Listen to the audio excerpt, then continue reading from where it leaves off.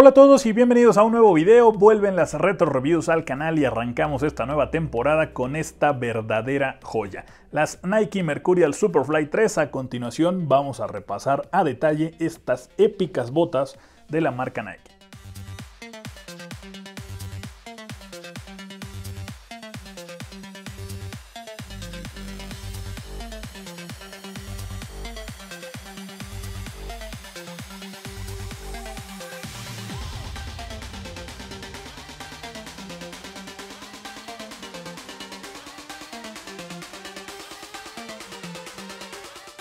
Comencemos a hablar un poco sobre las características generales y la construcción que teníamos en estas Nike Mercurial Superfly 3.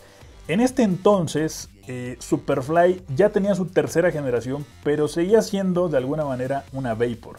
De hecho, si ustedes las ven, es prácticamente el mismo diseño que tenían las Vapor en ese entonces, pero la gama Superfly se caracterizaba porque tenía ciertos detalles diferentes, que a simple vista son bastante notorios, seguramente ustedes ya pudieron observarlos. El primero de ellos es el flyware, una característica que empezó a cobrar fama en este silo de la marca Nike. Otra muy importante era la placa, que aquí sí era fibra de carbono, era un chasis bastante, bastante importante. Vean lo impresionante que se ve esta placa. Pero básicamente era una Vapor, como les digo, fabricadas en Teijin, unas botas que como se hacía en ese entonces y como se sigue haciendo, me parece todavía en las Vapor actuales, se fabricaban en una sola pieza, la única costura estaba en la parte trasera. Me parece que las actuales, las 360, tienen su costura en la parte de abajo, pero estas, como digo, era una sola pieza de Teijin, ya, ya con eso es decir bastante, ¿no? Un material bastante popular que ha utilizado esta marca. Aquí podemos observar que todavía eran botas con empeine abierto, todavía no se ponía de moda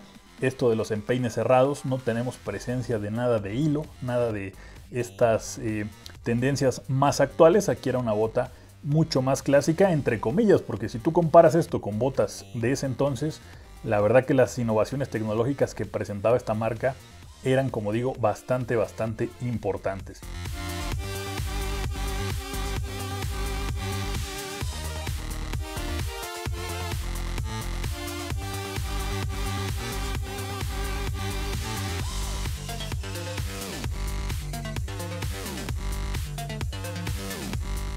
Hablemos ahora un poco más a fondo sobre la placa, sobre la suela, que me parece a mí es el punto más espectacular, más impresionante que tienen estas botas.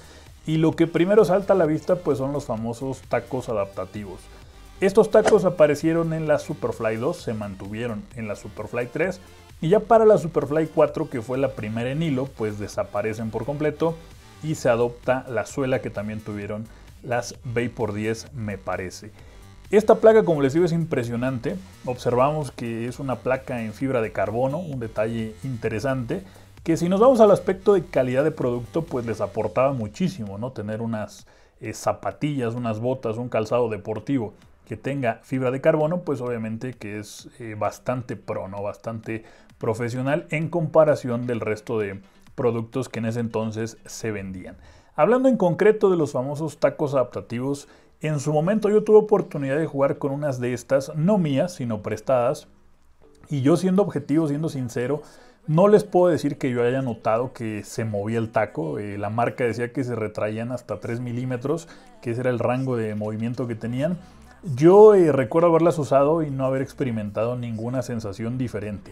La suela sí era bastante cómoda, sí era eh, bastante funcional, pero en el tema de los adaptativos yo creo que pasaban desapercibidos. La placa, como les digo, sí aporta bastante. Es una placa obviamente más rígida de lo que son las eh, tradicionales de Pebax y Nylon. Es una placa que tiene un soporte un poco curioso. Si tú ejerces presión atrás y adelante, puedes ver tú que flexa más o menos por aquí. Lo ideal sería que lo hiciera un poquito más adelante, pero al ser de fibra de carbono, pues la verdad que no era nada peligrosa, porque es prácticamente imposible que tú rompas pues una suela con estas características y fabricada en este material. Tampoco era tan reactiva, lo mismo le pasaba a las de fibra de vidrio. Si tú las comparas con las placas actuales, te dan mucho más rebote, son bastante más reactivas, por ello se ha dejado de utilizar este material en las botas más recientes, más modernas. Es cierto que esto impresiona más, se aprecia como un producto quizá de más calidad, pero si nos vamos al aspecto netamente funcional, las suelas actuales me parece que sí te dan un plus en comparación de lo que eran estas de fibra de carbono y de fibra de vidrio. Ya si te doy una opinión más personal, pues me gustaban muchísimo más estas. Estas placas obviamente que con los laminados, con esas transparencias y con el fondo en fibra de carbono, impresionaban muchísimo más de lo que son las placas actuales que muchas veces incluso dejan un poquito que desear. La placa realmente era muy buena, buen nivel de soporte, materiales premium, materiales muy buenos. Teníamos estas perforaciones que buscaban también aligerarla al máximo. La Superfly, la característica que tenía era eso, que en comparación de una Vapor, esta pretendía ser un modelo más premium con el flyware, con eh, detalles que la aligeraban un poquito más. Yo quiero conocer su opinión respecto a este tema, si ustedes tuvieron oportunidad de jugar con estas suelas, ¿qué pueden comentarme sobre los tacos? ¿Ustedes sí notaban eh, una mejoría, si notaban que se movían, si notaban que fueran un aspecto realmente innovador en comparación de lo que te ofrecían otras botas o las notabas prácticamente iguales. Lo que sí trabajaba muy bien eran los laminados, lo mismo los que tenían las Vapor, la Vapor no tenía los adaptativos, tenía acá más tacos de este tipo y sí que trabajaba bastante bien sobre todo en pasto natural. En concreto, en una opinión muy personal, repito, de usuario, no de persona que, que te las quiere vender, yo creo que esto era puro marketing, yo creo que era algo con lo cual sí impulsaron bastante las ventas de esta Superfly, pero ya funcionalmente pasaba por completo desapercibido, me parece a mí.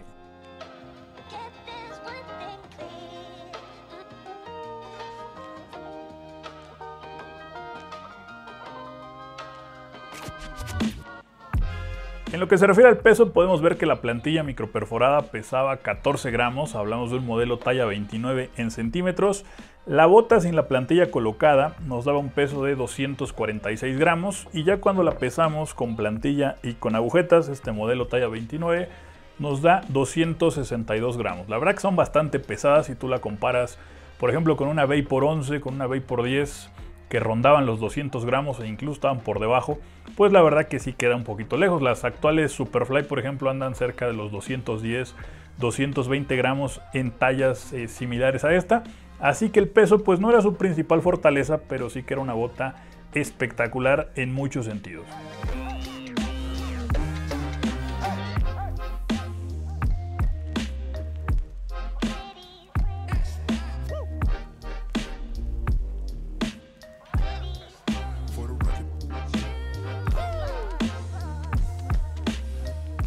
Hablemos ahora un poco más a detalle sobre el Upper, como ya les mencionaba, fabricadas en Teijin y con el detalle de tener el flyware que se encarga de dar estructura a la bota, de mejorar las sensaciones de ajuste y tener más estabilidad en las arrancadas, en las pisadas, en las frenadas, en todos los movimientos que haga el deportista. Vemos que es una bota con perfil bajo, es bastante similar a las Vapor de primeras generaciones en lo que se refiere al diseño, a la silueta como se suele decir, pero también es un poquito dura y esto eh, siempre había sido así en las Vapor. Yo creo que a partir de las 6, la 7, la 8 y obviamente ya las eh, versiones últimas en Teijin como fue la 9, la 10, la 11 y las actuales de hilo, es cuando la Vapor ha tenido más suavidad en el upper, pero en principio solían ser así de rígidas, ¿eh? nunca fueron botas realmente muy suavecitas. Esta Superfly 3 sí que tenía bastante estructura, se percibe como una bota bastante firme, de hecho se nota mucho su refuerzo plástico aquí en la parte trasera. No llega a ser tampoco una bota demasiado rígida, pero sí que cuando flexabas el pie formaba muchos pliegues.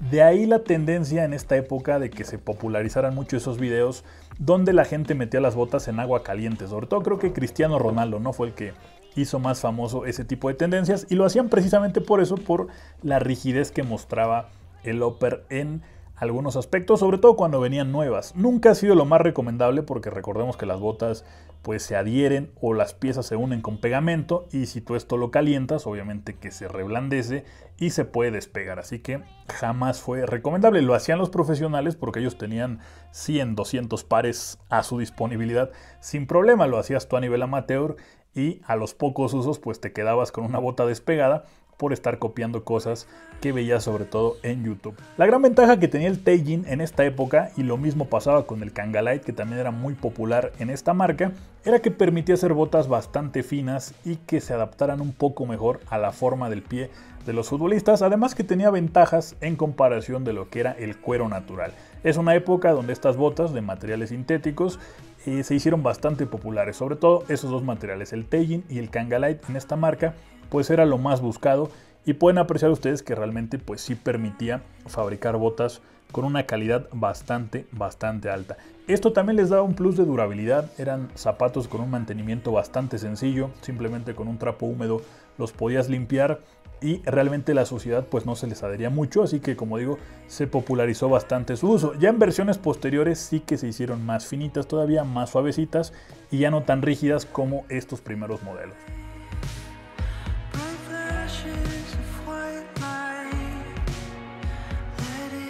En lo que se refiere a la horma y sensaciones de ajuste, pues hablamos de un modelo Mercurial, siempre han sido estrechas, siempre han sido pues botas bastante pegaditas al pie, aunque en estas versiones pues tenían empeine abierto y eso permitía que mucha más gente pudiera usar este tipo de botas.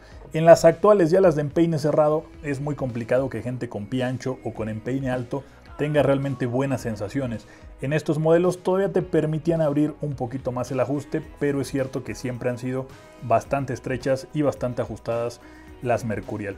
Este es un aspecto que me parece que estéticamente sí les vino a aportar bastante cuando se implementó ese empeine cerrado. Aquí ya se podía ver la famosa lengüeta bífida, ya empezaba a aparecer, pero yo creo que estéticamente sí vino a mejorarlas el hecho de cerrar el empeine, aunque tuvo, como digo, pues una contra para las personas que tienen el pie un poquito ancho.